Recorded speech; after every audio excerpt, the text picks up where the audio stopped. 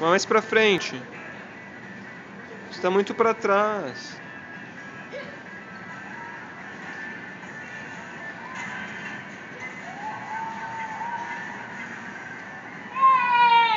Ganhou! Uhul!